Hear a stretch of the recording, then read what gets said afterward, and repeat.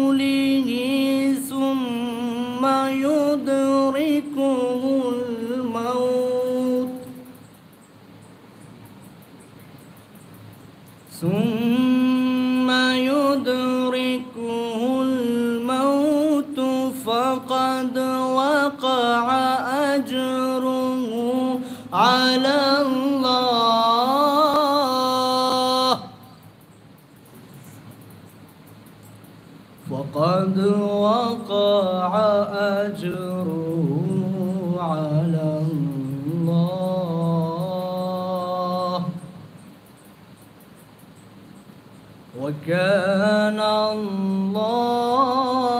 غفورا رحيما. صدق الله العلي العظيم. اللهم صل وسلم وزد وبارك على رسول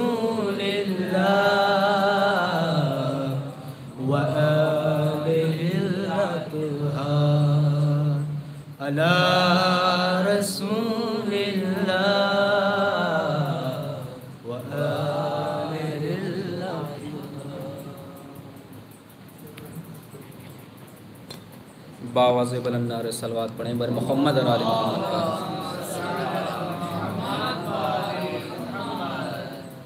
حریث تخت خلافت میں تار تار ہو تم۔ حریث تخت خلافت میں تار تار ہو تم۔ ستم کے میت اریاں کے سوگوار ہو تم۔ حریث تخت خلافت میں تار تار ہو تم۔ ستم کے میت اریاں کے سوگوار ہو تم۔ تمہارے دل میں جو بغض علی کے خیمے ہیں۔ تمہارے دل میں جو بغض علی کے خیمے ہیں۔ ہمیں پتہ ہے کہ ہندا کے رشتہ دار ہو تم۔ ہمیں پتہ ہے کہ ہندا کے رشتہ دار ہو تم۔ آئیے میں انہی مصر گزیر سایہ، گزارش گزار محترم جناب۔ مسیب عباس صاحب سے کو تشریف لائیں۔ ان کے استقبال میں باواز بلند نعرہ صلوات پڑھیں بر محمد اور آل محمد پر۔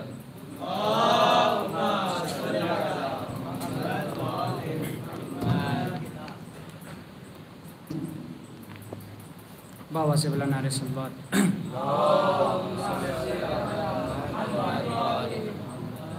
مصائب کے چار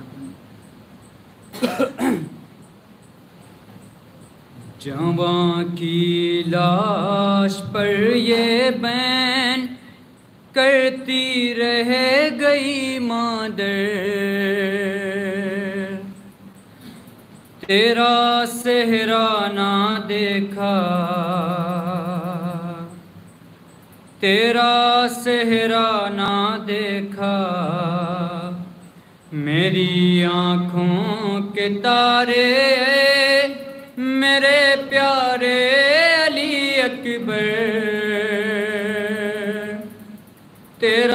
تیرا سہرا نہ دیکھا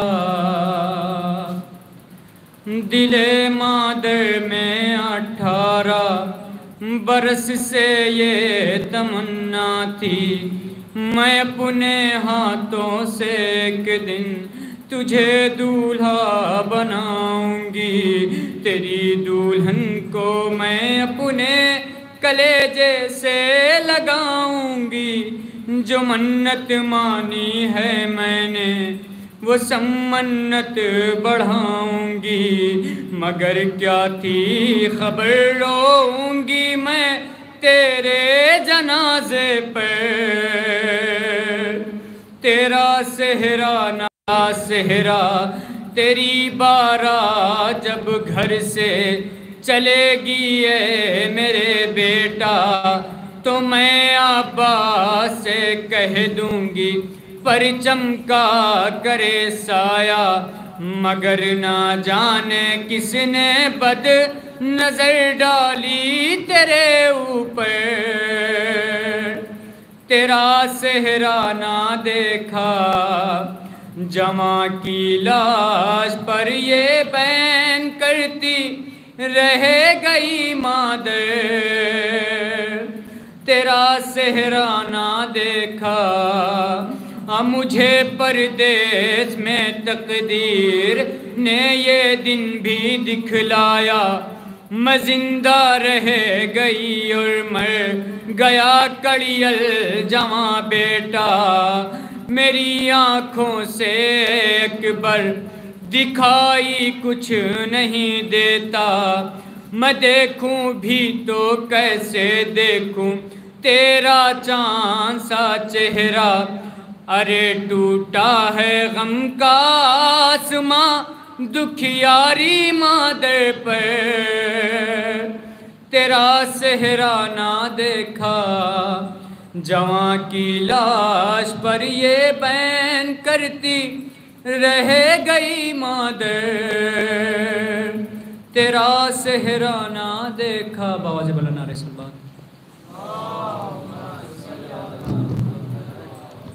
صاحب اجازت ہے؟ اس کو نمازیں پڑھ کے بھی جنت نہیں ملی۔ اس کو نمازیں پڑھ کے بھی جنت نہیں ملی۔ جس کو نجف کی دید کی حسرت نہیں ملی۔ اس کو نمازیں پڑھ کے بھی جنت نہیں ملی۔ جس کو نجف کی دید کی حسرت نہیں ملی۔ تو فرش اضافہ آ نہیں سکتا کبھی بھی وہ، جس کو بھی سیدہ سے اجازت نہیں ملی۔ فرش اضافہ آ نہیں سکتا کبھی بھی وہ، جس کو بھی سیدہ سے اجازت نہیں ملی۔ تو محشر کے روز ہونے لگا جب میرا حساب۔ محشر کے روز ہونے لگا جب میرا حساب۔ عشق علی سے بڑھ کے عبادت نہیں ملی۔ عشق علی سے بڑھ کے عبادت نہیں ملی۔ آئیے میں انہی مصر گزیر سایہ۔ گزارش گزار محترم آصف بسوانی صاحب سے کہ وہ تشریف لائیں۔ آپ ان کا استقبال باواز بلند نعرہ سلوا سے کریں۔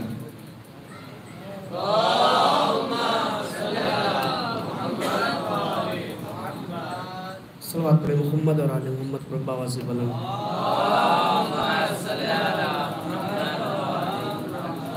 ایک مطلب دو تین شرح ذکر رہا ہوں کہ وفاؤ صبر کا غازی جہان چھوڑ گیا۔ وفاؤ صبر کا غازی جہان چھوڑ گیا۔ وہ ان مرے ہوئے لفظوں میں جان چھوڑ گیا۔ وفاؤ ایک صلوات پر محمد اور آل محمد وفا و صبر کا غازی جہان چھوڑ گیا۔ وہ ان مرے ہوئے لفظوں میں جان چھوڑ گیا۔ نہ بھرتا مشق سکینہ تو لوگ کہہ دیتے، وہ بیچ راستے میں امتحان چھوڑ گیا۔ وہ بیچ راستے میں امتحان چھوڑ گیا۔ صدا یہ آتی ہے گلدستہ ازا سے ازا مجھے یہاں پہ کوئی نوجوان چھوڑ گیا۔ مجھے یہاں پہ کوئی نوجوان چھوڑ گیا۔ اور جہاں میں اس لیے زندہ ہے میسم تمار۔ جہاں میں اس لیے زندہ ہے میسم تمار۔ زبان کٹنے سے پہلے بیان چھوڑ گیا۔ زبان کٹنے سے پہلے بیان چھوڑ گئے۔ ایک مطلب دو تین شعر کر رہا ہوں کہ سو کی سیدھی بات یہی ہے، بالکل ایسا ہوتا ہے۔ سو کی سیدھی بات یہی ہے، بالکل ایسا ہوتا ہے۔ سو ایک سلوات پڑھے ذرا ذرا سا آگے آجے سلوات پڑھے محمد والے سو کی سیدھی بات یہی ہے، بالکل ایسا ہوتا ہے۔ سو کی سیدھی بات یہی ہے، بالکل ایسا ہوتا ہے۔ جس کے چلو میں ہو پانی اس کا دریا ہوتا ہے۔ جس کے چلو میں ہو پانی اس کا دریا ہوتا ہے۔ میرے علی سے کیسا تقابل باغ فدق کے چوروں کا۔ اللہ اکبر، میرے علی سے کیسا تقابل باغ فدق کے چوروں کا۔ پتھر پتھر ہوتے ہیں اور ہیرا ہیرا ہوتا ہے۔ پتھر پتھر ہوتے ہیں اور ہیرا ہیرا ہوتا ہے لوٹ کے کھانے والوں کی اولادوں سے امید نہ رکھ، لوٹ کے کھانے والوں کی اولادوں سے امید نہ رکھ۔ بانس کی جڑ میں ہے یہ کہاوت باس ہی پیدا ہوتا ہے۔ بانس کی جڑ میں ہے یہ کہاوت باس ہی پیدا ہوتا ہے۔ اور اس کو سلامی دے جاتے ہیں، چاند ستارے اور سورج۔ اس کو سلامی دے جاتے ہیں۔ چاند، ستارے اور سورج، جس کی ایک ٹھوکر میں زندہ قبر کا مردہ ہوتا ہے۔ جس کی ایک ٹھوکر سے زندہ قبر کا مردہ ہوتا ہے۔ کیا سمجھیں گے؟ جس کی ایک ٹھوکر سے زندہ قبر کا مردہ ہوتا ہے۔ تیر چلانے والے سے، تلوار چلانے والوں سے اصغر نے ہنس کر بتلایا، ایسے حملہ ہوتا ہے۔ اصغر نے ہنس کر بتلایا، ایسے حملہ ہوتا ہے۔ صلوات پڑھے محمد اور آل محمد۔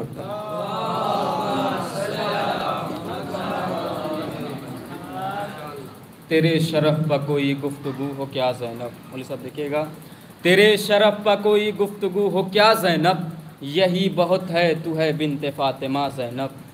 تیرے شرف پہ کوئی گفتگو ہو کیا زینب؟ یہی بہت ہے، تو ہے بنت فاطمہ زینب۔ بقائے دین محمد کا سلسلہ زینب۔ بقائے دین محمد کا سلسلہ زینب۔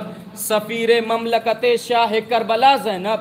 سفیر مملکت شاہ کربلا زینب کہ تقدس لب مریم تجھے سلام کرے۔ تقدس لب مریم تجھے سلام کرے۔ تو قدسیہ ہے، عفیفہ ہے، طیبہ زینب۔ تقدس لب مریم تجھے سلام کرے۔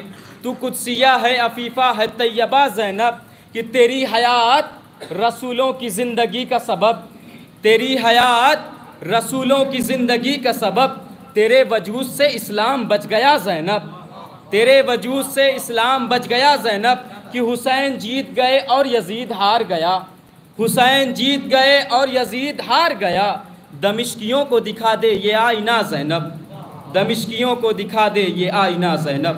آئیے میں انہی میں سے گزیر سایہ ملتمس ہوں گزارش گزار محترم جناب حسن حجت صاحب سے کہ وہ تشریف لائیں۔ آپ ان کے استقبال باواز بلند نعرہ سلوات سے کریں۔ جی۔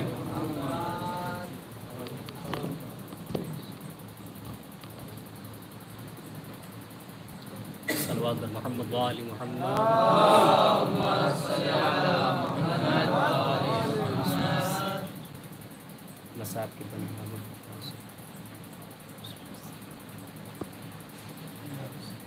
کہتی تھی ماں خون بھری مئی یا سے لپٹ کر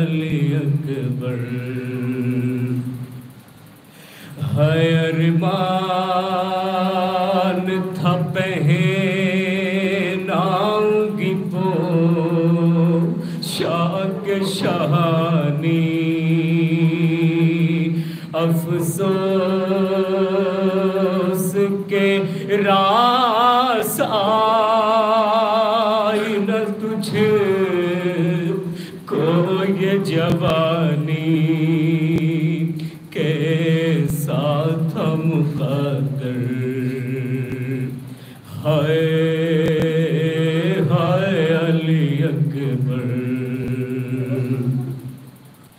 ارے اتنا تو ذرا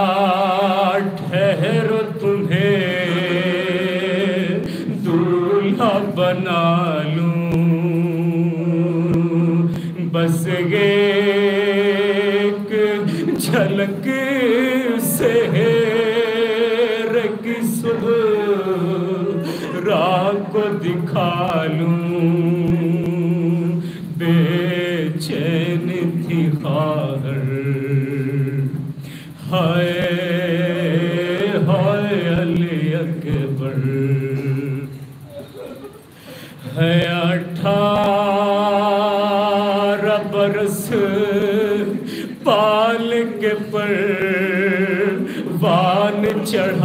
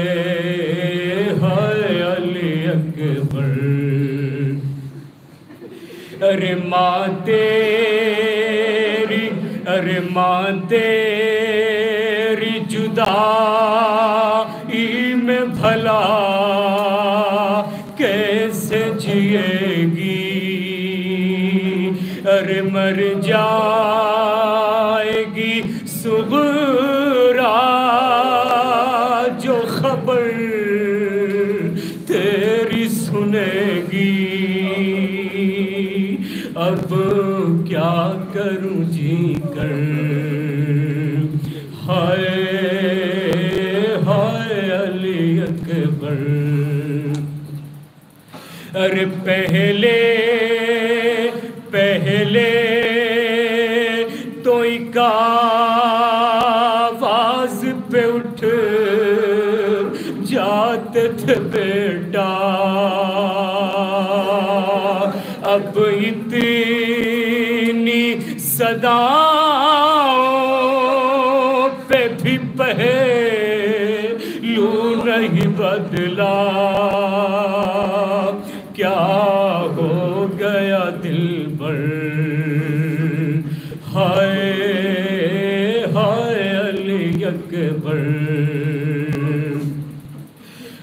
تم ہی چیکیا لے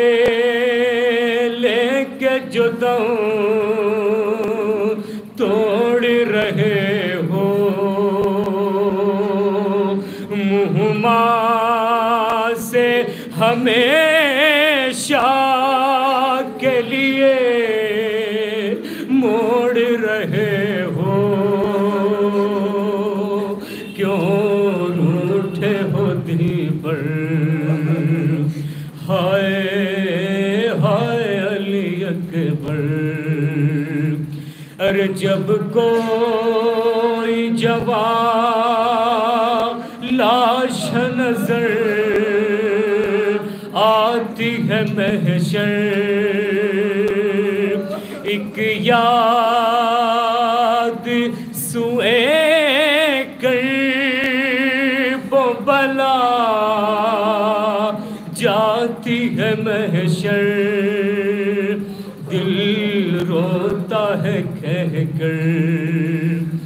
ہائے ہائے علی اکبر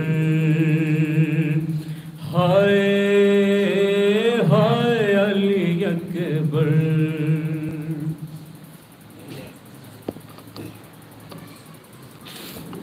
آئیے میں پڑھیے تو میں احترام کے ساتھ گزارش کر رہا ہوں. حجت الاسلام والمسلمین، عالی جناب مولانا آغا غلام رسول نوری صاحب کشمیری سے کیوں آئے اور اپنے نورانی بیان سے مؤمنین کو قلوب منور فرمائے، ان کے اس اقوال کے لیے بلند ترین صلوات۔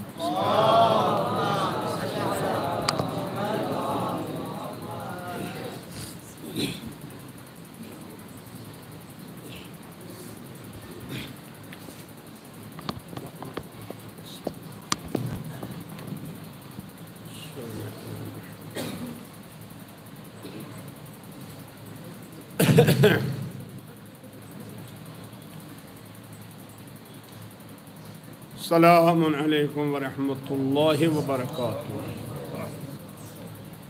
فاتحة بسم الله الرحمن الرحيم. الحمد لله العالمين. إياك نعبد وإياك نستعين صراط المستقيم. غير المغضوب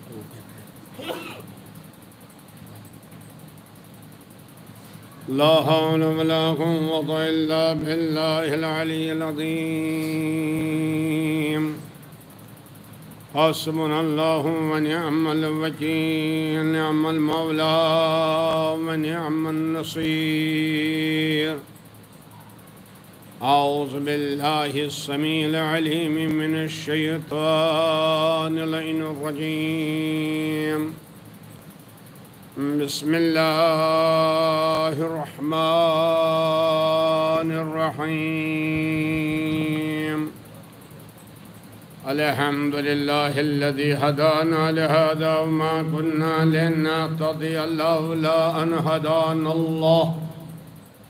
لقد جاءت رسل ربنا بالحق والصلاة والسلام على النبي النبي الأمي المكي الهاشمي القرشي المدني، السيد البهية والسراج المضيء نقطة دائرة الوجود صاحب المقام المحمود وصاحب الوقار وسكينة المدفون بأرض مدينة على عبد المعيد والمصطفى الأمجد ورسول المصدد أبي القاسم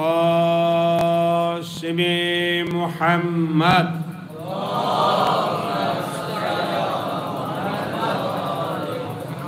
وعلى آله الطيبين الطاهرين المعصومين المظلومين الغر الميامين المنتجبين الأكرمين ولعنة الله على أعدائهم وقتلتهم وغاصبي حقوقهم ومنكري فضائلهم أجمعين من الآن إلى قيام يوم الدين أما بعد، فقد قال سبحانه تبارك وتعالى في محكم كتابه المبين وفرقانه المتين، وهو أصدق الصادقين وقوله الحق.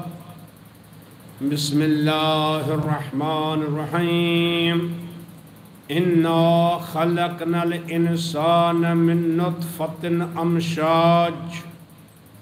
نبتليه فجعلناه سميعا بصيرا. صلوات ایک مرتبہ سورہ ہم تین مرتبہ سورہ قل هو اللہ احد کی تلاوت کر کے ہوئے مرحوم حجت الاسلام مولانا سید تہذیب الحسن صاحب اور مرحوم محمد باسط رضا، مرحوم محمد عامر صاحب اور تمام مومن مومنات کی روح کو سلام فرمائیں بسم اللہ الرحمن الرحیم الحمد للہ رب العالمین الرحمن الرحیم إياك نعبد وإياك نستعين اهدنا الصراط المستقيم صراط الذين أنعمت عليهم غير المغضوب عليهم ولا الضالين بسم الله الرحمن الرحيم. قل هو الله أحد. الله الصمد لم يلد ولم يولد ولم يكن له كفوا بسم الله الرحمن الرحيم. قل هو الله أحد. الله الصمد لم يلد ولم يولد ولم يكن له بسم الله الرحمن الرحيم. قل هو الله أحد. الله كذلك الله ربنا كذلك. اللهم اغفرهم واحشرهم الطاهرين برحمتك يا ارحم الراحمين بر محمد وآل محمد صلوات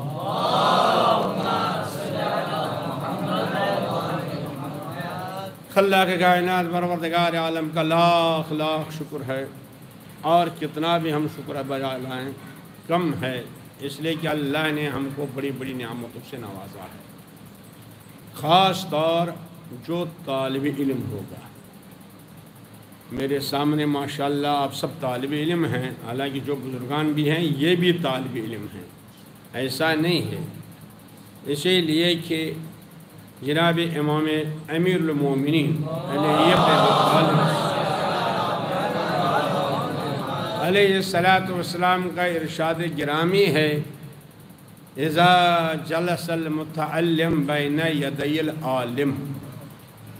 جب کوئی طالب علم بن کر آ جائے، چاہے مجلس میں ہو، چاہے کلاس میں ہو، چاہے درس میں ہو، جو جب وہ بیٹھتا ہے استاد کے سامنے، چاہے مجلس ہی میں، مگر اس کا یہ ارادہ رہتا ہے کہ میں کچھ حاصل کر دوں یعنی متعلم بن کر آتا ہے، صرف سننے کے لیے نہیں، طالب علم بن کر آتا ہے۔ تو جب وہ بیٹھتا ہے استاد کے سامنے، فتح اللہ له سبعین بابا من الرحمہ۔ خدا وند عالم اس کے لیے ستر دروازے رحمت کے کھول دیتا ہے۔ اس لیے الحمدللہ ہماری قوم بڑی خوش نصیب ہے۔ اگر ذرا اس کے نعمت کی قدر کرتے اور واقع مجلس کو ہم مدرسہ بناتے۔ ایزبال مدرسہ ہی ہے۔ تو امیر المومن علیہ السلام فرماتے ہیں کہ اللہ ستر دروازے رحمت کے کھول دیتا ہے تو رحمتیں اتنی نازل ہو جاتی ہے۔ ولا یقوم من عنده۔ اور اس مجلس سے نہیں اٹھتا ہے، اس کلاس سے نہیں اٹھتا ہے، اس مدرسے سے نہیں نکلتا ہے۔ اللہ کیوم ولدت امہ اتنا پاک و پاکیزہ کہ جیسے کہ اسی وقت اس نے ماں سے جنم پا لیا ہو۔ لہذا یہ علم، الحمدللہ، طالب علم بن کے رہی ماشاء اللہ بھارت تعلیم سامنے ہے نا؟ اس لیے مولا کائنات علیہ السلاۃ والسلام نے فرمایا، آپ جانتے ہیں، نہج البلاغہ میں علماء وہاں ماشاء اللہ پڑھتے ہیں، فرماتے ہیں ناسو ثلاثہ۔ لوگ تین قسم کے ہیں، تین گروہ ہیں، تین جماعتیں ہیں لوگوں میں۔ کون ہے؟ عالم ربانی، یہ تو عالم ربانی ہے۔ بہرحال موسم علیہ السلاۃ والسلام ہیں، وہ انبیاء ہیں۔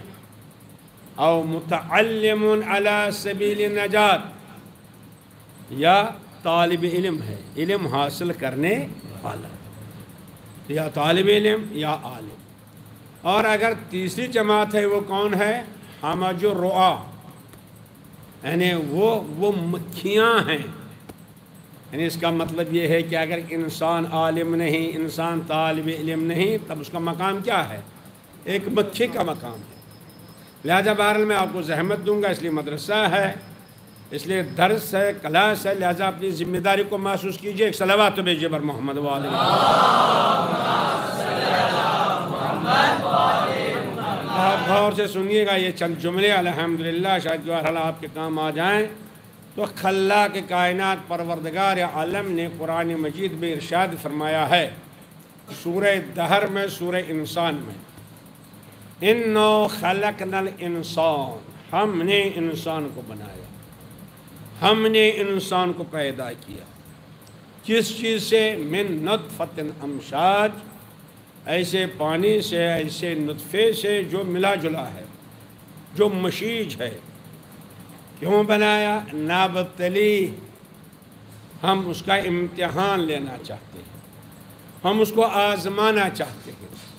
مگر آپ طالب علم، آپ جانتے ہیں، امتحان کے لیے دو چیزیں ضروری ہوتی ہیں۔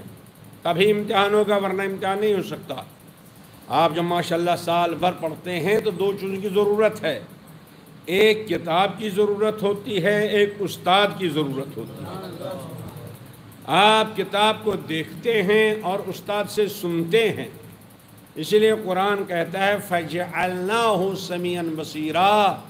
ہم نے اس انسان کو سننے والا بھی بنایا، دیکھنے والا بھی بنایا۔ ایک صلوات بھیجے بر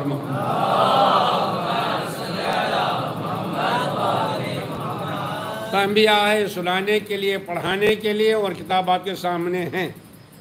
تو کتنی کتابیں آپ کو پڑھنا ہے؟ آپ جانتے ہیں نا بھر میں اشارہ کروں گا، میں طالب میں نے کہا نا، یہ مدرسہ ہے۔ آپ جانتے ہیں کتنی کتابیں آپ کو پڑھنا ہے؟ تین کتابیں آپ کو پڑھنا ہے۔ ہر طالب علم کے لیے ضروری ہے تین کتابوں کا مطالعہ کرے۔ ایک وہی ہے جو آپ کے سامنے ہے، جس کو قرآن مجید کہا جاتا ہے۔ یہ اللہ کا قول ہے۔ یہ اللہ نے جو فرمایا ہے۔ مثلا قرآن مجید جتنا ہے، اقوال پروردگار ہیں پروردگار عالم کا کلام، ہے کہ نہیں؟ یہ ایک ہے۔ اور اس کے علاوہ دو کتابیں ہیں، ارشاد ہوتا ہے، سنریہم آیاتنا فی الآفاق۔ اور ایک اور کتاب ہے، وہ یہ کائنات ہے۔ یعنی قرآن کلام الہی ہے اور کائنات فعل الہی ہے۔ ایک صلوات بھیجیے برمان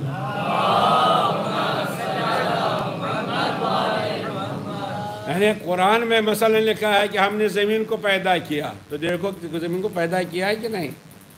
قرآن کہتا ہے کہ ہم نے آسمانوں کو پیدا کیا، باہر دیکھو تو یہ دوسری کتاب ہے۔ قرآن بھی پڑھیے اور کائنات کا مطالعہ بھی کیجیے۔ اور سب سے اہم کتاب جو آپ کو پڑھنا ہے وہ کیا ہے؟ سنریہم آیاتنا فی الآفاق و فی انفسہم۔ اپنے آپ کو پڑھیے، انسان کو پڑھیے۔ اپنے نفس کو پڑھیے، اپنی حقیقت کو معلوم کیجیے صلوات بھیجیے بر محمد و آل محمد۔ ماشاء اللہ آپ قرآن پڑھتے ہیں اساتذہ سے۔ کائنات بھی پڑھیں گے۔ چلیے، آج ہم اپنے انسان کا مطالعہ کریں گے۔ تو انسان کیا ہے؟ اللہ نے آواز دی، ہم نے انسان کو خلق کیا۔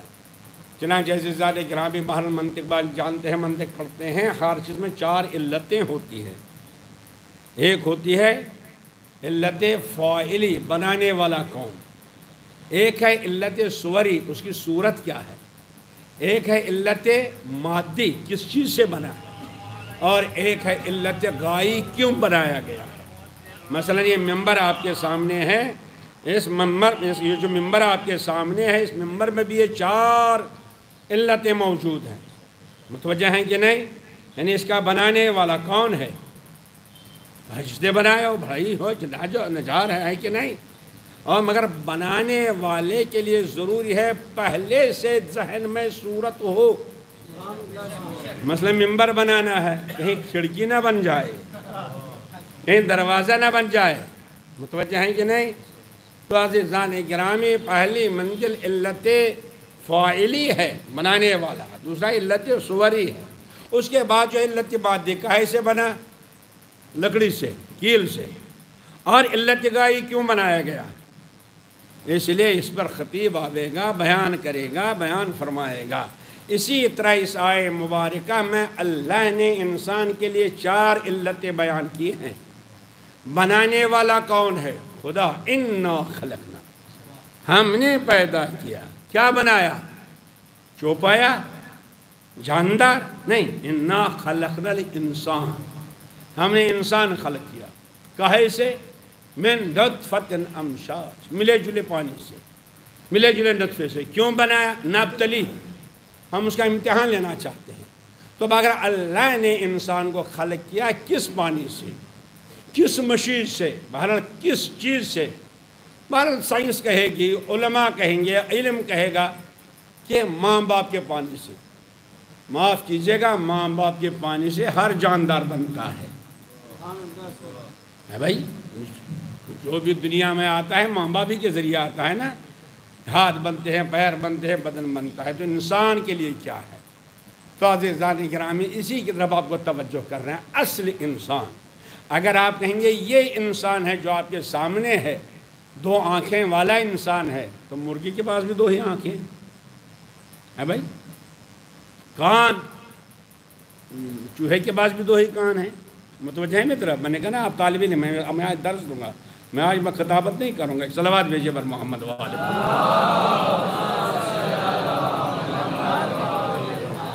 میں آپ کہیں گے دو ٹانگ والا انسان ہے، تو مرغی کے پاس کیا ٹانگ ہے؟ تو انسان ہے کہاں؟ انسان کہے سے بنا ہے؟ کیا ماں باپ کی وجہ نہیں عزیزان گرامی۔ چنانچہ مولا کائنات امیر المومن علی ابن ابی طالب۔ سلامات بھیجیے بر محمد۔ انسان کاہے سے بنا ہے، لہذا انسان کو تلاش کیجیے۔ ایسے آپ کو بہت ملیں گے، سر والے، کان والے، آنکھ والے، سب ملیں گے، لیکن انسان۔ اور اس دنیا میں انسانی کو تلاش کرنا ہے، ارشاد فرماتے ہیں مولا علیہ السلام۔ کہا اسے انسان کو خلق کیا گیا؟ ان اللہ رکب الملائکہ عقلاً بلا شہوہ۔ اللہ کے کائنات، پروردگار عالم نے تین قسم کے مخلوق پیدا کیے ہیں۔ ایک ہے ملائکہ، وہ صرف عقل کے ہیں۔ وہاں خواہش نہیں، وہاں لذت کا حاصل کرنا نہیں، وہاں بیوی نہیں، وہاں بچے نہیں، وہاں مکان بنانا نہیں، وہاں کچھ کھانا نہیں۔ بس جو سجدے میں ہے، قیامت تک سجدے میں رہے گا۔ جو رکو میں ہے، قیامت تک رکو میں رہے گا۔ اس لیے کہ ملائکہ صرف عقل ہے، عقل محض۔ ان اللہ رکب الملائکہ عقلاً بلا شہوہ۔ وہاں کوئی خواہش نہیں، وہاں غضب نہیں۔ ورکب البہائم شہوتاً بلا عقل۔ اور جتنے جاندار ہیں، جتنے چوپائے ہیں، اللہ نے ان کو شہوت سے پیدا کیا۔ عقل نہیں ہے۔ چوپائے کے پاس عقل نہیں، جاندار کے پاس عقل نہیں۔ ہاں کھانا ہے۔ اب اس کو چھوڑیے، چاہے دوسرے ہی کا ہو وہ یہ نہیں دیکھا کہ ہمارے، میرے مالک کا ہے کہ دوسرے کا ہے۔ وہ تو ہے کہ نہیں؟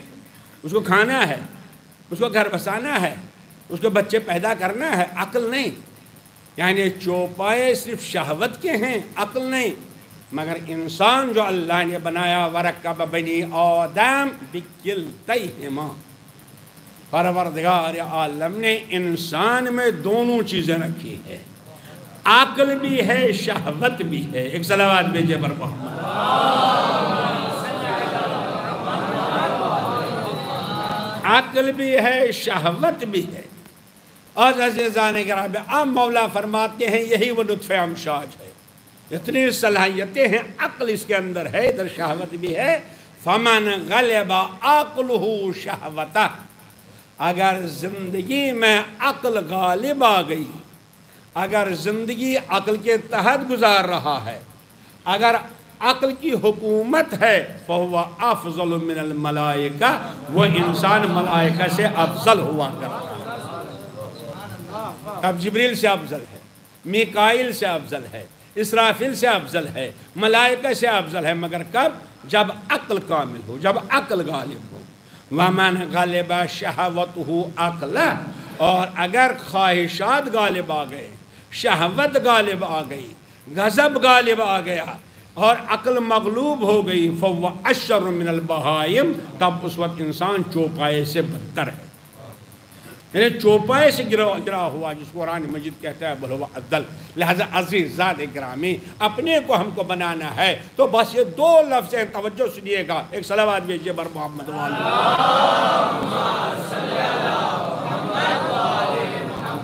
یہ دو لفظیں ہیں آپ کے بارے علم ہے ایک ہے خالق۔ ایک ہے خلق، جس کو آپ اخلاق کہتے ہیں۔ متوجہ ہیں کہ نہیں؟ ایک ہے خالق، ایک ہے خلق۔ خلق انہیں اخلاق۔ ہمارے نزدیک میں اخلاق کیا ہے؟ کوئی ہنس کے ملتا ہے، بڑا اخلاق والا ہے۔ کوئی دس مرتبہ چائے پر بلاتا ہے، بڑا اخلاق والا ہے۔ کوئی کسی کے پاس جاتا ہے، بڑا اخلاق والا ہے۔ ممکن ہے کوئی ہنس کے مل رہا ہو، مگر اخلاق نہ ہو۔ ممکن ہے دوسرے کو کھلا رہا ہو، بظاہر سخاوت کر رہا ہو، مگر اخلاق نہ ہو۔ بتائیے بتائیے کہ نہیں؟ اگر کسی کو دیکھ کر تنسن ہنس دیا، اخلاق ہے؟ اگر چوری کر کے سخاوت کرنے لگا، اخلاق ہے؟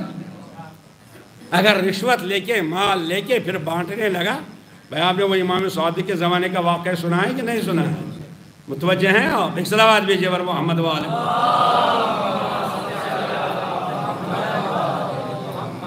تو عزیزان ہمیں بظاہر ہنس کے ملنا، بظاہر بظاہر کسی کا احترام کرنا ممکن ہے اخلاق نہ اصل اخلاق کیا ہے؟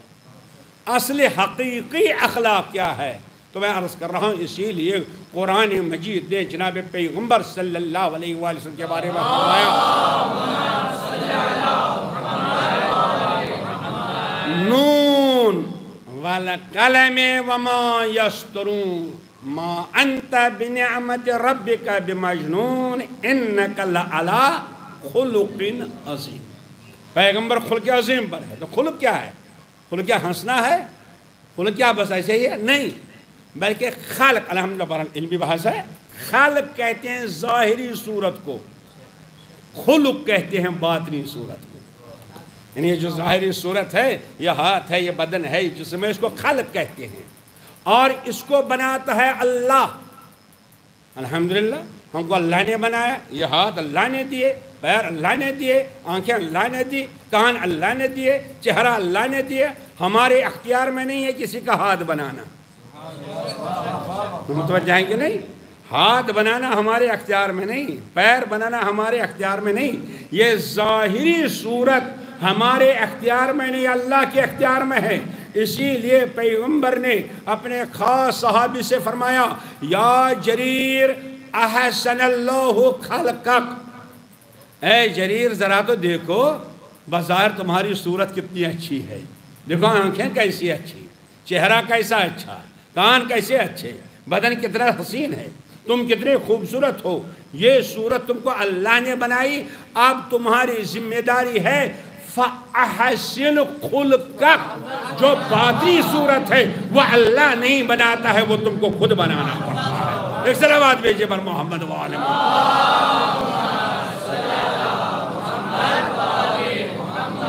تو ظاہری صورت اللہ بناتا ہے، جو باطنی صورت ہے انسان کی، وہ خود بنانا ہے۔ ہم کو خود بنانا ہے انسان کو اللہ اکبر انسان بنے گا، کچھ اور بنے، کیا بنے گا؟ تو اب کیسے پہچانا جائے یہ انسان ہے کہ نہیں؟ کیسے پہچانا جائے؟ ہماری باطنی صورت کیا ہے؟ علماء اخلاق بیان کرتے ہیں، اور مولا کا معجزہ بھی آپ نے سنا ہے، صلوات بیجئے بر محمد والے علماء اخلاق بیان کرتے ہیں کہ ایک دن بکری اور کتا مل گئے۔ جب بکری اور کتا مل گئے تو وہاں بچہ پیدا ہو گیا۔ اب بچہ پیدا ہو گیا تو اب بحث ہے کہ یہ بکری کا بچہ ہے کہ کتے کا بچہ ہے؟ بھائی فیصلہ دیجیے بھائی، آپ فتوہ دیجیے جی، بتائیے کیا ہے؟ بکری کا بچہ ہے کہ کتے کا بچہ ہے؟ بحث چھڑ گئی۔ کیوں؟ اس لیے اگر بکری کا بچہ ہے، پاک بھی ہے، حلال بھی ہے۔ اور اگر کتے کا بچہ ہے، نجس بھی ہے، حرام بھی ہے۔ ہے نا بھائی؟ تو لہذا معلوم کرنا ہے یہ بکری کا بچہ ہے کہ اس کا بچہ ہے؟ کتے کا بچہ تو کیسے معلوم کیجیے گا تو علماء اخلاق کہتے ہیں، یہ باطنی صورت پر نظر رکھنے والے کہتے ہیں کہ مشکل نہیں ہے، بہت آسان ہے۔ ہاں کیسے پہچانا جائے؟ کہا ایک طرف سبزی رکھو، ایک طرف گوشت رکھو۔ اب اس کو چھوڑو، دیکھو جاتا کہاں ہے۔ اگر سبزی کی طرف جاتا ہے تو کیا ہے تب؟ بکری کا بچہ۔ اور اگر گوشت کی طرف جاتا ہے تب کیا ہے؟ ہاں؟ بھائی، میں نے بہت بڑا جملہ کہا۔ اب آپ انسان دیکھیے، دنیا یہ دو ٹانگ والا دن بھر کدھر جاتا ہے۔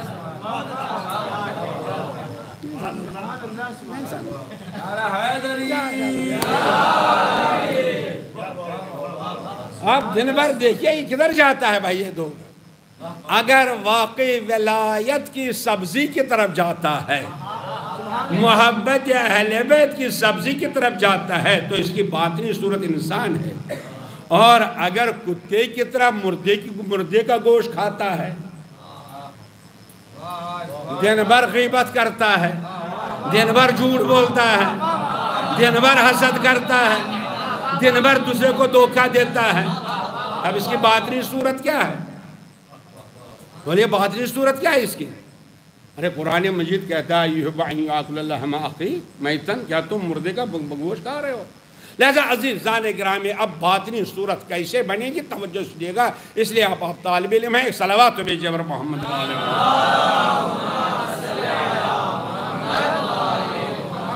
میں بلند آواز صلوات بے جبر محمد۔ تو عزیزان گرامی توجہ سنیے کو آپ آپ کے لیے، بہرحال یہ بزرگ ہیں، یہ مجزیں بہت سنتے ہیں، آپ کو سنا رہا ہوں۔ چنانچہ جب خلاق کائنات پروردگار عالم نے حضرت آدم کو خلق کیا، اس کا بدن بنایا، ہاتھ پیر بنائے، جسم بنایا، اس کے بعد جناب آدم کی صورت مکمل ہوئی۔ اب پروردگار عالم نے آدم کے پاس چھ صورتیں بھیجی۔ چھ صورتیں آ گئی تین نورانی تھی جو اتنی چمکدار کی روشن ہے آفتاب سے زیادہ روشن۔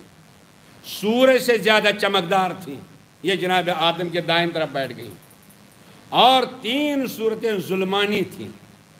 بالکل خوفناک روانی وہ جناب آدم کی بائیں طرف بیٹھ گئی کالی کلوٹی خطرناک۔ تو جناب آدم کے سامنے آ گئی سلام کیا، تو جناب آدم نے پہلے سے پوچھا۔ جب اس نے سلام کیا، تو جناب آدم نے کہا، وعلیکم السلام۔ جناب آپ بتائیے، آپ ہیں کون؟ اور آپ کا مقام کہاں ہے؟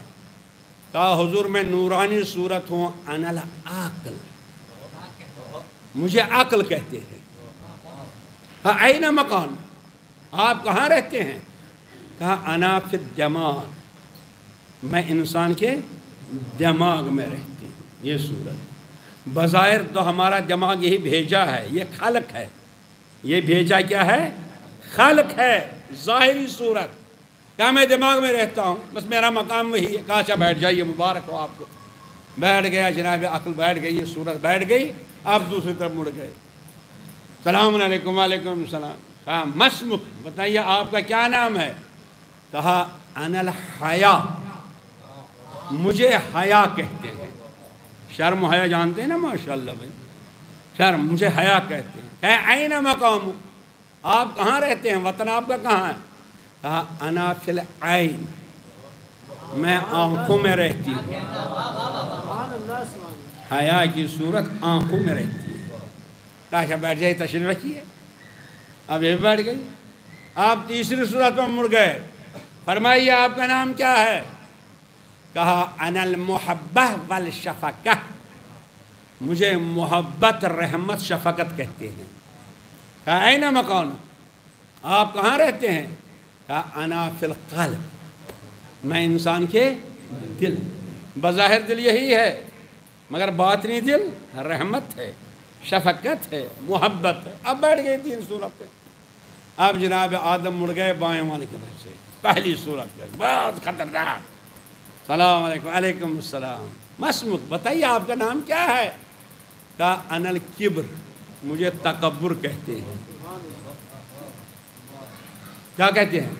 تکبر کہتے ہیں۔ کہیں نہ مکان آپ کہاں رہتے ہیں؟ کہا انا فی دماغ میں دماغ میں رہتا ہوں۔ کہا وہاں تو عقل رہتی ہے۔ کہا حضور، جب میں تشریف لاتا ہوں نا، عقل خود بخود رخصت ہو جاتا میرا عقل کا وہاں پر کوئی بات رکتی نہیں ہے، جب تکبر آ جائے، گھمنڈ آ جائے، عقل کا کیبر یعنی میرے برابر کون ہے؟ مجھے کسی کی کیا ضرورت ہے؟ استاد نے مجھ پر کیا احسان کیا؟ تکبر۔ اچھا دوسری طرف مڑ گئے۔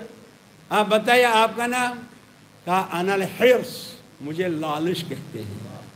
مجھے تما کہتے ہیں۔ کہا، آپ کہاں رہتے ہیں؟ کہا، انا فی العین۔ میں آنکھوں میں۔ کہا، وہاں تو حیا ہے۔ جب میں آ جاتی ہوں تو حیا خود بخود رخصت ہو جاتی ہے۔ شرم و حیا رہتی نہیں۔ ایک سلوات بھیجیے بر محمد والا۔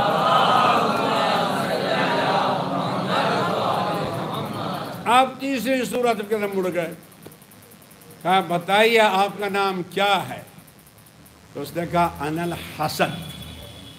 مجھے حسد کہتے ہیں، جلن کہتے ہیں مجھے۔ کائنہ مکان تیری جگہ کہاں ہے؟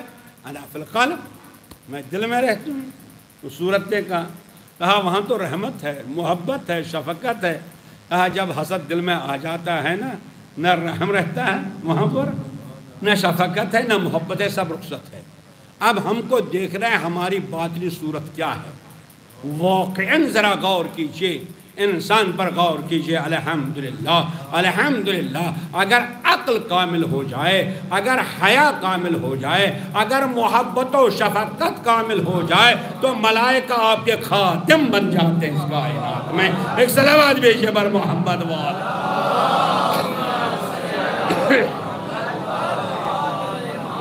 بلند آواز صلوات بیجئے بر محمد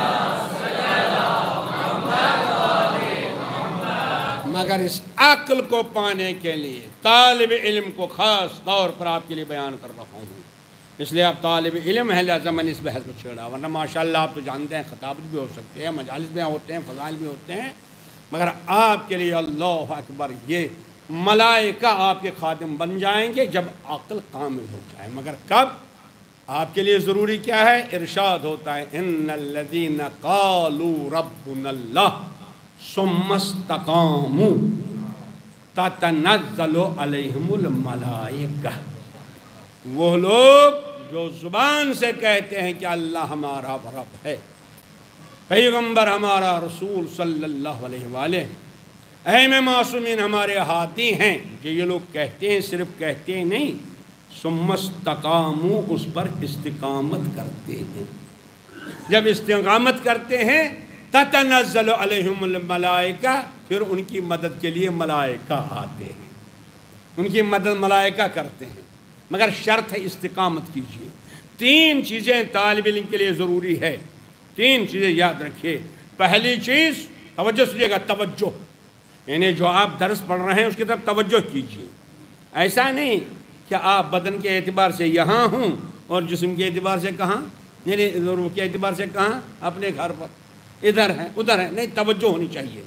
پہلی توجہ، دوسری فعالیت۔ یعنی بار بار پڑھیے، محنت کیجیے، زحمت برداشت کیجیے۔ اور تیسری ہے استقامت۔ ایک سلوات بھیجیے پر محمد۔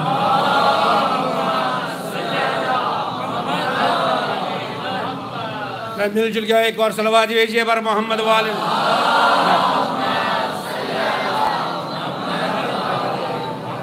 اب دیکھیے کیسے آپ کے اندر استقامت پیدا ہوتی ہے اور ملائکہ کیسے آپ کی مدد کے لیے آتے ہیں۔ الحمدللہ، کوشش کیجیے کہ ملائکہ مدد کے لیے آ جائیں۔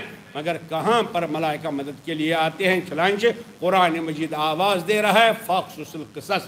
کوئی واقعہ بھی تو بیان کیجیے، جس سے اندازہ ہوگا۔ لعلہم یتفکرون، تاکہ فکر کریں، غور کریں۔ علامہ مجلس علیہ رحمہ نے لکھا ہے۔ کہ ایک انسان کے لیے کتنی استقامت ضروری ہے تاکہ ملائکہ آ جائیں؟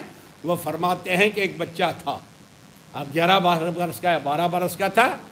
یہ وجہ اس کے اس کے باپ کا انتقال ہوا اور وہ جانے لگا ادھر ادھر جاتا تھا، ادھر ادھر جاتا جدھر جاتا تھا، ادھر اپنی باپ کی تعریف سنتا تھا۔ ادھر اپنی باپ کی تعریف۔ وہ گھر آیا، اپنی اماں سے کہا، اماں یہ بتائیے، میرے بابا نے کون سا کام ایسا کیا تھا کہ لوگ اس کی تعریف کرتے ہیں؟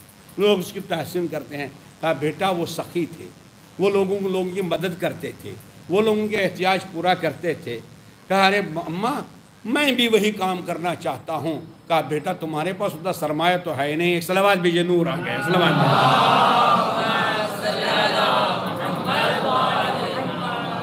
کہا تمہارے پاس اتنا سرمایہ تو نہیں ہے۔ تم کیسے تجارت کرو گے، کیسے کاروبار کرو گے، کیسے محنت کرو گے، کیسے وہ کام کرو گے؟ کہا، اماں، یہ بتائیے، بچا کتنا ہے؟ کہا، میرے پاس صرف سو درہم بچے ہیں۔ یعنی آج کی زبان میں کہوں گا، سو روپیہ۔ کہا، سو روپیہ کہا، مجھے دیجیے کیونکہ قرآن مجید آواز دیتا ہے آپ کے لیے، ہمارے لیے، سب کے لیے۔ فَإِذَا عَزَمْتَ فَتَوَكَّلْ عَلَى اللَّهِ۔ ایک سلامات بھیجیے بر محمد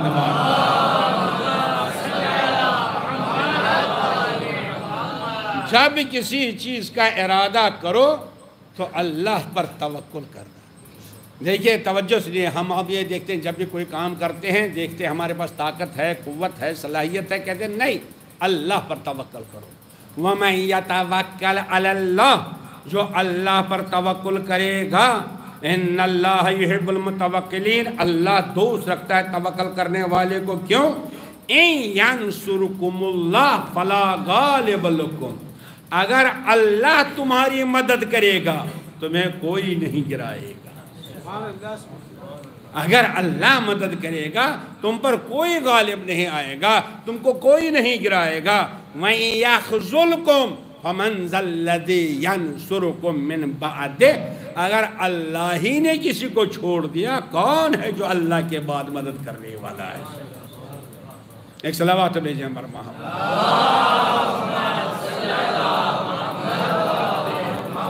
محمد سو روپے لے کے چلا تجارت کرنے کے لیے۔ میں نے کہا، کہاں جاؤ گے؟ کہا، مجھے سو روپے پر بھروسہ نہیں ہے۔ مجھے اللہ پر بھروسہ ہے۔ اللہ چاہتے، چاہے گا، کم ہی کو زیادہ کرے گا۔ لیکن چلا۔ آپ کچھ دیر آگے بڑھ گئے، ایک صاحب صاحب مل گئے اسے کہا، کہاں جا رہا ہو بیٹے؟ کہا، میں تجارت کرنے کے لیے جا رہا ہوں۔ کہا، پیسہ کتنا؟ کہا سو درہم۔ کہا سو درہم میں تجارت کیا ہوگی؟ کہہ رہے ہیں مجھے سو درہم پر بھروسہ نہیں۔ مجھے استقامت ہے کس پر میں کہتا ہوں کہ اللہ میرا رب ہے۔ اللہ میرا مالک ہے۔ کئی لوگوں نے پوچھا، کہاں جا رہے ہو؟ کہاں جا رہے ہو؟ کہاں مجھے تجارت کرنے کے لیے جانا ہے۔ بہرحال آگے بڑھتا گیا آپ لوگوں نے روکا، مگر رکا رہی۔ کیوں؟ اس نے آواز دی، توجہ سے دی اس کو استقامت عرض کر رہا ہوں۔ چنانچہ ایک مقام پر پہنچا، وہاں دیکھا کہ ایک مردہ، ایک انسان پڑا ہوا ہے، اس کا کسی نے غسل و کفن نہیں کیا۔ جب اس کا کسی نے غسل کفن نہیں کیا ہے تو اس نے کہا اس سے بہتر تجارت کوئی نہیں۔ اسی لیے امیر المومن نے فرمائے اذا املکتم فتاجروا بالصدقہ جب فقیر ہو جاؤ گے تو اللہ کے ساتھ صدقے کے ذریعے تجارت کرنا۔ اس نے آواز دی کہ اس سے بہتر کوئی تجارت نہیں۔ ہم لوگ بھی تجارت یہ کہتے ہیں، اسی لیے قرآن مجید کہتا ہے، ان الذین یتلون کتاب اللہ واقاموا الصلاۃ یرجون تجارت لن تبور. بہترین تجارت یہ ہے کہ اللہ اللہ کے ساتھ تجارت کیا جائے۔ اللہ کے ساتھ تجارت کیجیے، اللہ اکبر۔ چنانچہ اس نے جو ہے، اس مردے کو اٹھانے میں کفن میں، دفن میں مشغول ہو گیا، اسی درہم خرچ ہو گئے۔ آپ کتنے بچ گئے؟ کتنے بچ گئے بھائی؟ بیس درہم بچ گئے۔ اب چلا۔ جتنا اس وقت اس کو اطمینان تھا، بھروسہ تھا، جب سو تھا۔ اتنا ہی اطمینان اور اتنا بھروسہ اس وقت ہے جب کتنا ہے؟ بیس حالانکہ اگر ہمارے ہاں ہوگا تو ہم پریشان ہو جائیں گے۔ ہوں گے نا پریشان؟ لیکن کسی نے پوچھا، کہاں جا رہے ہو؟ میں تجارت کے لیے کہا رہا بیس میں کیا تجارت کرو گے؟ کہا، مجھے بیس پر بھروسہ نہیں، مجھے اس پر بھروسہ ہے۔ دیکھیے، استقامت۔ لہذا خاص طور آپ کو طالب علم کو زیادہ استقامت ہونی چاہیے۔ اسی لیے ماشاء اللہ آپ نے پڑھا ہوگا، علماء آپ کے استاد پڑھاتے ہوں گے۔ عربی ادب میں ایک اتھارٹی ہے سکا کی عربی اتھارٹی، پڑھو گے ماشاء اللہ کون؟ سکا کی یہ تاجر تھا۔ بڑا تاجر تھا، مگر سنار تھا یہ۔ سونے کی چیزیں بناتا تھا۔ ایک دن اس نے سات برس میں ایک تماشا بنایا تاکہ بادشاہ کے پاس پیش کرے۔ جب بادشاہ کے پاس لے گیا، بادشاہ اس کو دیکھنے لگا، اتنے میں ایک عالم آ گیا۔ تو بادشاہ نے اس کو ادھر ہی چھوڑ دیا، اس کے استقبال کے لیے چلا گیا۔ سکاکی نے کہا رے میری سات برس کی محنت۔ اس کی طرف بادشاہ نے توجہ نہیں کی، عالم آ گیا اور اس کے استقبال کے لیے چلا گیا۔ لہذا معلوم یہ ہوتا ہے کہ سونے کی سرمایہ نہیں، علم سرمایہ ہے۔ صلوات بھیجیے پر محمد۔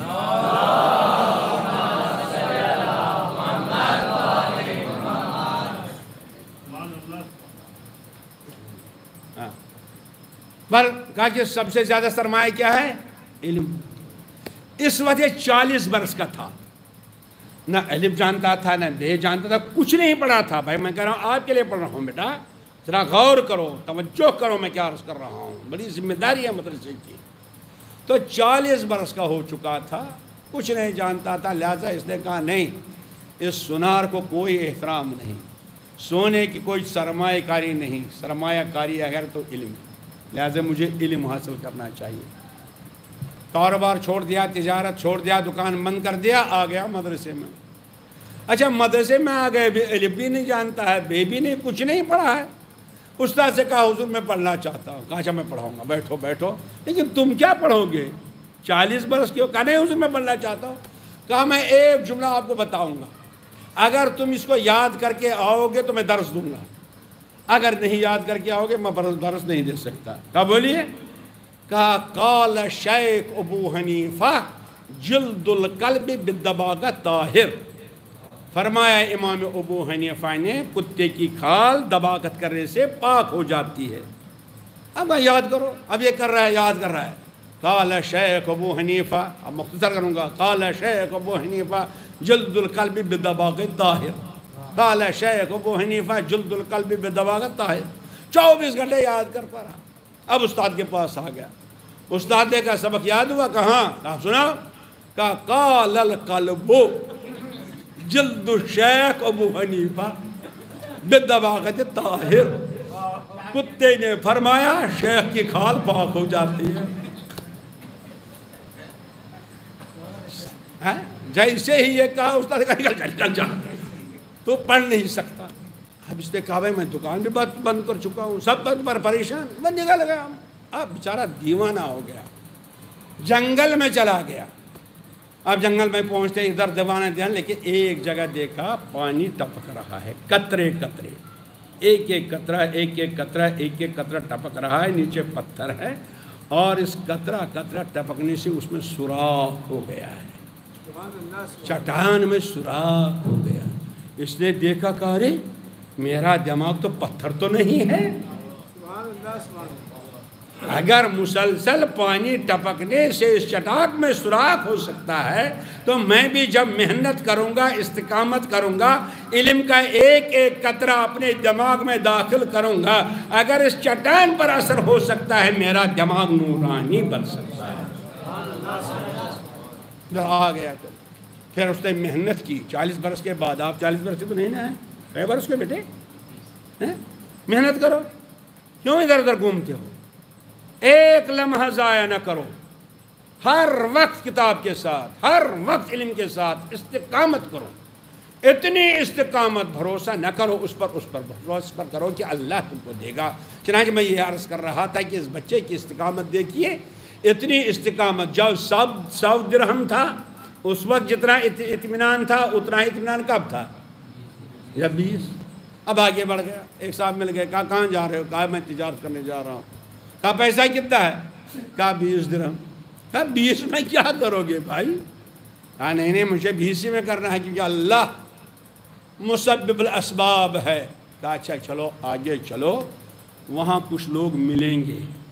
وہ تمہاری دعوت کریں گے۔ جب کھانے پر بیٹھو گے، ان کے ساتھ بلی آئے گی۔ اس بلی کو خریدنا۔ وہ وہی بیس درہم میں بیچیں گے۔ پہلے وہ بیچیں گے نہیں، لیکن بیچیں گے بیس درہم میں تم خرید لینا۔ پھر اس کو ذبح کرنا، اس کا بھیجا نکالنا، اس کو بھن لینا، اس کو دوائی بنانا، اس کو شیشے میں رکھنا۔ اور اس کے بعد فلان جگہ جاؤ وہاں کے بادشاہ کی آنکھوں کی روشنی جا چکی ہے۔ تم اس کی آنکھوں میں وہ سرما لگا دو، اس کو روشنی ملے گی، تم کو دولت ملے گی۔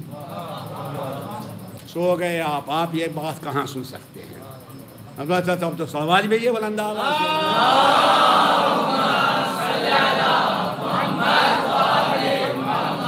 میں بھی ثابت کروں گا، ایک ایک اور سلوات بھیجیے بر محمد والا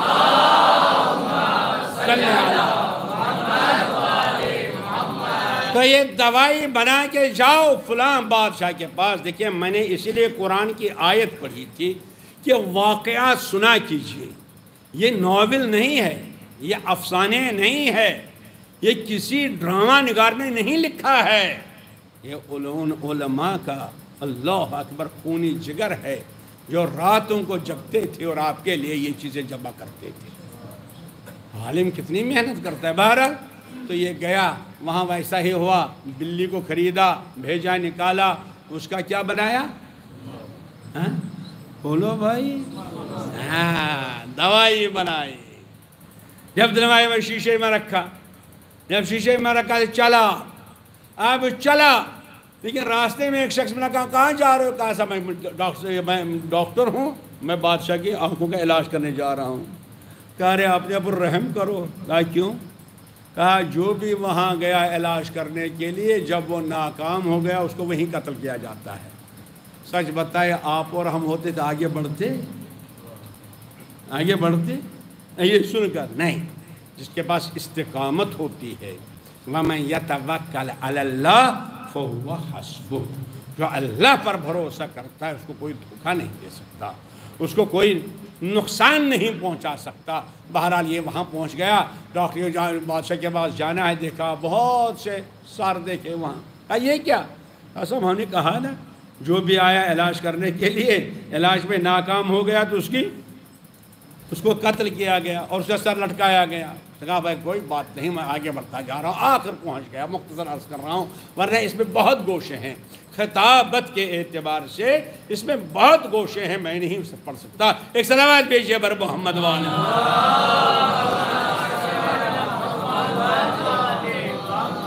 بادشاہ کے پاس پہنچا، اس کی آنکھوں میں ایک سلائی لگا ایک سلائی اس میں ایک سلائی اس میں اس کو روشنی مل گئی۔ کہا، اور لگا دیجیے کہا، نہیں، میں ڈاکٹر ہوں، مجھے معلوم ہے کتنا لگانا ہے۔ درس تین دن اس کی آنکھوں میں دوائی لگاتا رہا۔ اس کو پوری جو بینائی واپس آ گئی۔ کہے، بیٹے، تم نے تو مجھے بادشاہت واپس عطا عطا کی۔ جو میرے ہاتھ سے نکل چکی تھی، جو حکومت جا چکی تھی، تم نے وہ مجھ کو دے دی۔ اب مانگو جو کچھ مانگنا ہے۔ کہا رہے جو دے دیجیے اس میں کیا؟ اب بھارت ظاہر سی بات ہے، بادشاہ کتنا خوش ہوا ہوگا۔ کتنا انعام دیا ہوگا۔ لیکن اتنے میں یہ بالغ ہو چکا تھا، علماء لکھتے ہیں کہ میں ایک پندرہ برس کا ہو چکا تھا۔ لہذا بادشاہ نے کہا کہ اب اکیلے نہیں، اب تمہاری شادی میرے میری بیٹی سے بھی ہونے والی ہے۔ بادشاہ کا داماد بھی بن گیا، دولت بھی مل گئی، پیسہ بھی مل گیا، سب کچھ مل گیا۔ کچھ دن گزر گئے، ان کو یاد آ گیا، میں نے ماں سے وعدہ کیا تھا۔ میں نے وعدہ کیا تھا ماں سے، لہذا چلا واپس۔ کا بادشاہ سے میں جا رہا ہوں۔ کہا رک جاؤ۔ حکومت کرو، کہا، نہیں، میں جا رہا ہوں۔ ماں سے وعدہ ہے۔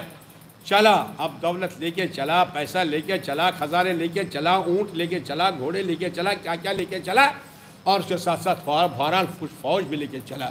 لیکن جیسے ہی وہاں پر پہنچا تھا، جہاں وہ شخص ملا تھا، جس نے کہا تھا کہ میں تم کو بتا دوں گا تجارت کا طریقہ۔ مگر مجھے بتاؤ مجھے کیا دو گے؟ کہا صاحب، آدھا تمہارا، آدھا میرا۔ جتنا بھی میں کما کے لاؤں گا، اس میں سے ففٹی ففٹی آدھا آدھا۔ نصف آپ کا نصف ہمارا۔ اب جب وہاں پہنچ گئے، وہ آ گیا۔ کہا صاحب، کیا ہوا؟ کہا آپ کامیاب، تجارت کامیاب رہی۔ کہا لا نصف آدھا لاؤ۔ گھوڑیاں ہو گئے نصف اونٹ کے نصف جتنے بھی کچھ چیزیں ہیں۔ نصف نصف اس نے کہا، نہیں، تم تو اور کوئی چیز لائے ہو. ہیں؟ کہا کیا کہا، شہزادی کو تو لے کے آئے ہو نا؟ ہاں؟ اگر ہم ہوتے کہتے فوراً اسے گرفتار کرو۔ گستاخی کر رہا ہے۔ لیکن وعدے کا پابند استقامت اللہ اکبر۔ فوراً کہا اچھا آری لاؤ۔ اس نے اپنی بیوی کے سر پر آری رکھی کہ اس کو دو حصے کیا جائے گا، بس اس نے آواز دی، رک جاؤ۔ کہا، کیوں؟ کہا اس لیے میں انسان نہیں ہوں، میں تمہاری مدد کے لیے فرشتہ آیا ایک سلامات بھیجیے بر محمد۔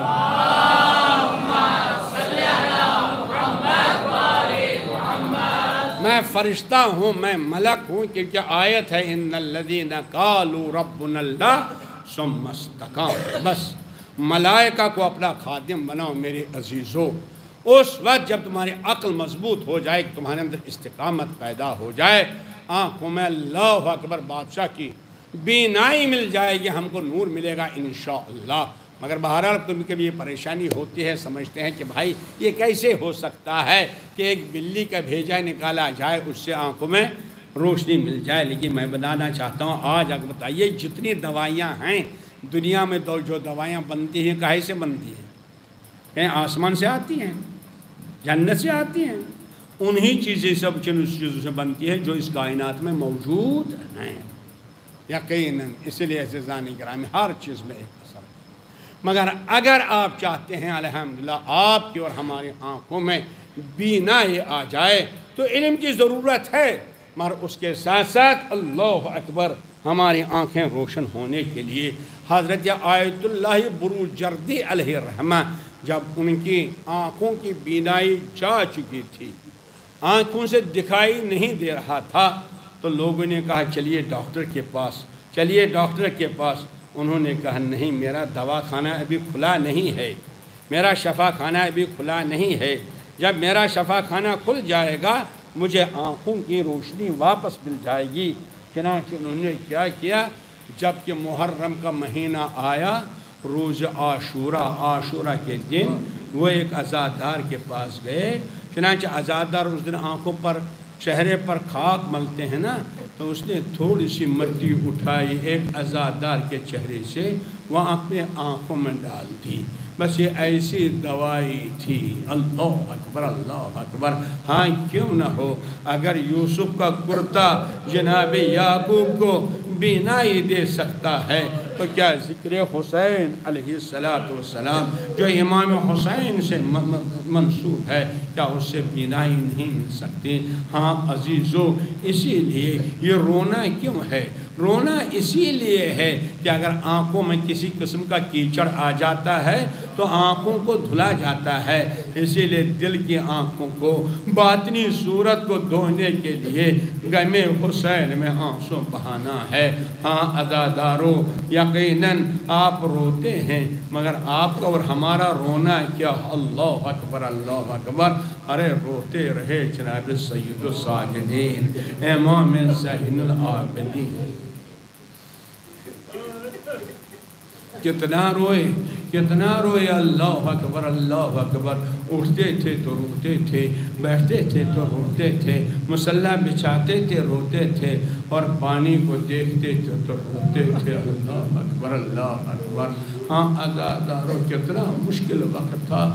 سید الساجدین کے لیے، اسی لیے فرماتے تھے، جب کسی نے پوچھا، مولا سب سے زیادہ مصیبتیں کہاں پڑی فرمایا، الشام الشام الشام۔ ارے، شام میں کون سی اتنی سخت مصیبت تھی؟ ہاں ازادارو بڑا سخت مرحلہ تھا۔ سہل ابن سائدہ بیان کرتا ہے کہ جب میں بازار شام میں پہنچا تو میں نے دیکھا بازار سجا ہوا ہے۔ کچھ بیبیاں ہیں جو اسیر ہیں، جو قیدی ہیں، مگر میں نے دیکھے کچھ نیزے ہیں ان پر شہدہ کے سر ہیں۔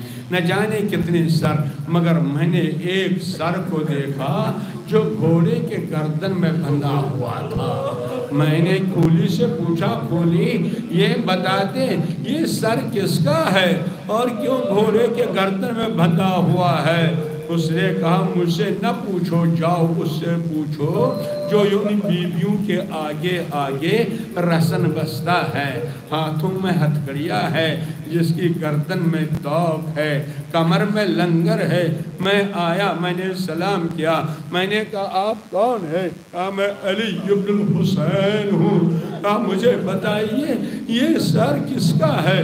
اور گھوڑے کی گردن میں کیوں بندھا ہوا ہے؟ سب کا سر تو نیسے پر بلند ہے۔ امام نے فرمایا، اے سال ابن سائدہ کیا بتاؤں؟ یہ تو میرے چچا ابو الفضل عباس کا سر ہے۔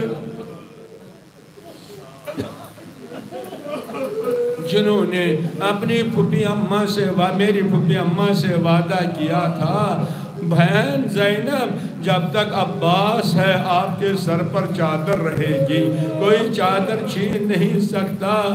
مگر اللہ اکبر آپ جناب عباس کا سر جب نیزے پر رکھا جاتا ہے، تو عباس کی نظر زینب کے سر پر جاتی ہے۔ جو ننگے سر ہے، اللہ اکبر، اسی لیے ریسے پر رکتا نہیں، زمین پر آتا ہے۔ تو ظالموں نے اس کو گھوڑے کی گردن میں باندھ دیا۔ جناب عباس برداشت نہ کر سکے، مگر ہائے سید الساجدین کا دل، سید الساجدین کا کلیجہ اسی لیے فرماتے تھے، لم تلدنی امی، اے کاش میں اس دنیا میں نہ آیا ہوتا، آج میں نے دیکھتا کہ میری بھوبی اممہ کس طرح لنگے سر ہے اور میری بہن سکینہ کے رخساروں پر شمر کے کیسے تماچے ہیں؟ ازادارو یقیناً جناب عباس نیزے پر نہیں رکتے تھے، کیونکہ جناب زینب بار بار آواز دیتی تھی بھیا عباس، آؤ دیکھو، تمہاری بہن میں مخنو چادر ہے اور شمر کے نیزے ہیں۔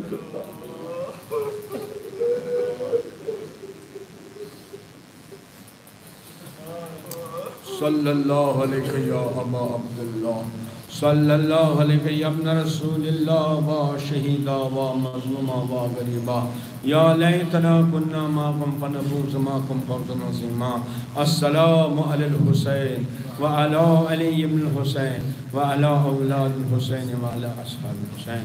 إلهي والسيدي ومولاي وربي، أسألك بحق فاطمة وأبيها وبعلها وبنيها والسر المستضعف پروردگار، تجھے واسطہ ہے محمد و آل محمد کا. ہمارے دلوں کو ایمان کے نور سے منور فرما. محبت اہل بیت سے ہمارے دلوں کو آباد فرما. باب العلم امیر المومن کے علم کی تجلی ہمیں عنایت فرما. پروردگار، تجھے واسطہ ہے محمد و آل محمد کا. ہم سب کو جتنے بھی لوگ ہیں، خاص طور ان طالب علموں کو، پروردگارہ، ہم سب کو علم و تقوی کی دولت سے مالا مال فرما۔ خدا بندہ باب العلم کی بھیک باب العلم سے بھیک مانگنے کی توفیق، عنایت فرما۔ پروردگارہ، پرچم اسلام کو بلندی، عنایت فرما۔ مظلومین کو، ظالموں کے پنجے سے آزاد فرما۔ ہمارے امام کو ظہور میں تعجل فرما، ہمارے آیات زام مراج اکرام، علماء عالم کو معید و منصور فرما۔ پروردگار بھی ایمانوں کو شفائی، کلی عنایت فرما۔ تمام مومن و مومنات جو آدم سے لے کے آج تک اس دنیا سے چلے گئے، خاص طور حضار کے اروا میرے والدین، میرے اساتذہ اور مرحوم تہذیب صاحب اور یہ طالب علم خدا بندہ ان کے قبور کو منور فرما، ان کے روح کو مسرور فرما۔ بحق واہ حسین واہ حسین Yo.